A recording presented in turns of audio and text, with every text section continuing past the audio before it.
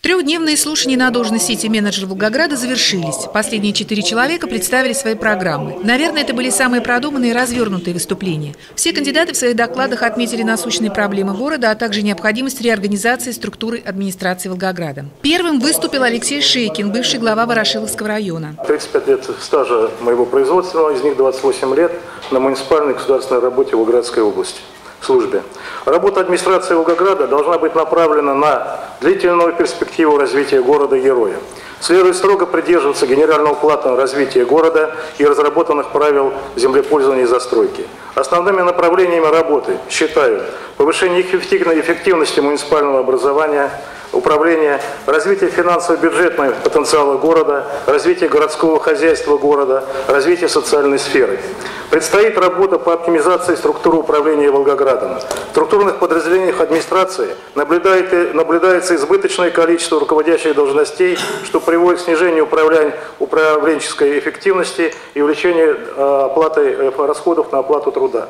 В связи с этим необходимо провести аудит положений структурных подразделений администрации, полномочий должностных обязанностей чиновников и после этого утвердить структуру администрации Волгограда.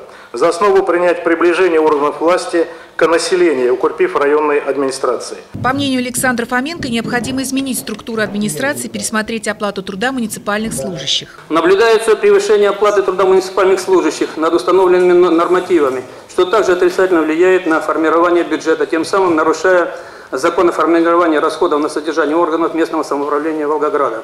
Можно отметить, что при соблюдении норматива по оплате труда можно добиться соблюдения норматива расходов на содержание органов местного самоуправления и, как следствие, уменьшения муниципальных служащих Волгограда. Вместе с тем, сокращение расходов э, можно добиться за счет приведения в соответствие с правовыми актами структуры администрации Волгограда и внутренней структуры подразделения администрации Волгограда, а также за счет упорядочения и оптимизации отдельных видов расходов на материально-технические и организационное обеспечение органов местного самоуправления.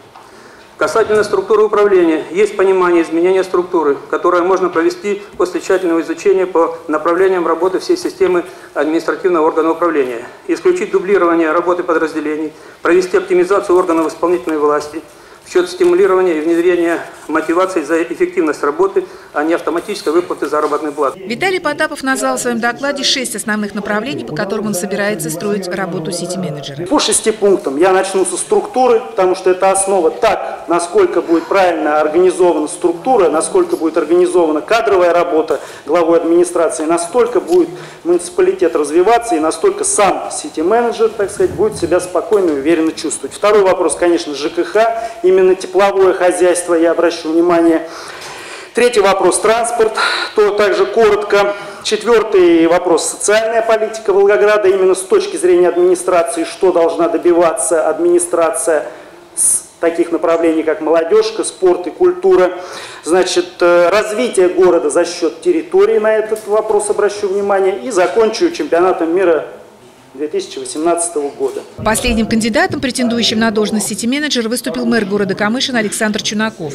Он обозначил со своей точки зрения сильные и слабые стороны города-героя. Основными слабыми позициями города сегодня необходимо признать невысокий уровень доходов населения, малоблагоприятный предпринимательский климат и отсутствие ясной инвестиционной политики, высокий уровень изношенности основных элементов инфраструктуры – нерациональная архитектурная и транспортно-планировочная структура, отсутствие системы и качества в гарантиях современных стандартов базовых социальных услуг, образования и здравоохранения. Все претенденты представили, в общем, хорошие и серьезные программы. Некоторые доклады отличались большей развернутостью и детализированностью проблем. Выделить кого-то одного сложно. Однако одному все-таки это удалось – Виталию Потапову. Он решил преподнести цветы всем женщинам, участвующим в конкурсной комиссии, но одного букета не хватило – главе Волгограда Ирине Гусевой, которая решила прийти и послушать в этот день конкурсантов, явных претендентов на пост сити-менеджера. Выберут ли преподаватели руководителя Политехнического института Виталия Потапова на эту должность неизвестно. Зато его выход с цветами станет известен многим и запомнится надолго. Господин Потапов впоследствии, конечно, реабилитировался. Цветы главе города все-таки были подарены. Однако, претендуя на такой значимый пост, нужно быть более продуманным и взвешенным в своих мыслях и поступках.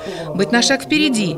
Иначе можно попасть в просак и остаться без должности сити-менеджера. Действительно, из состава претендентов на должность главы администрации действительно можно сформировать э, своеобразный кадровый резерв резерв, управленческий кадровый резерв главы города, который мы будем использовать в будущем при формировании новой администрации.